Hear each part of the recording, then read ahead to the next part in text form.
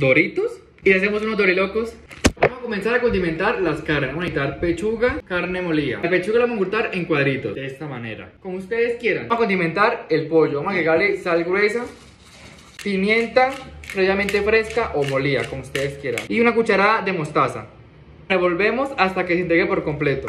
Se me olvidó la páprica, al gusto de ustedes. Ahora sí, revolvemos. Ahora vamos con la carne molida. Sal gruesa, pimienta, una cucharada pequeña de salsa soya.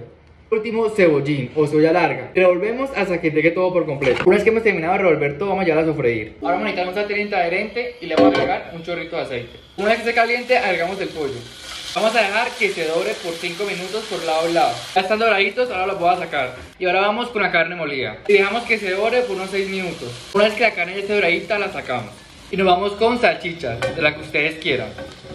Ya están doraditas, las sacamos. Yo utilicé salchicha de pollo y de res. Y por último, maicitos. Una cucharada de mantequilla y que se dore. Ahora vamos a hacer el pico de gallo. Vamos a necesitar soya cabezona en cuadritos. Ahora tomate en cuadritos. Ahora el jugo de un limón sal y pimienta al gusto de ustedes. Y por último, cilantro. Revolvemos todo. Bueno, ahora vamos a armar los dorilocos. Vamos a necesitar doritos picantes o naturales como ustedes quieran. Y queso crema. Una astilla lo cortamos de la punta. Así. Y lo cortamos por la parte de arriba. Comenzamos con una capa de queso crema. Así. Vamos a llevar una capa de pollo.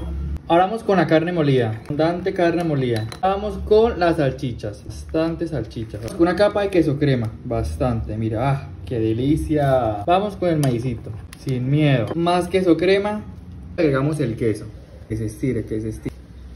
Por último, el pico de gallo. Esta delicia ya de dorilocos como quedaron estas dos bellezuras. Lo volvemos y a probar.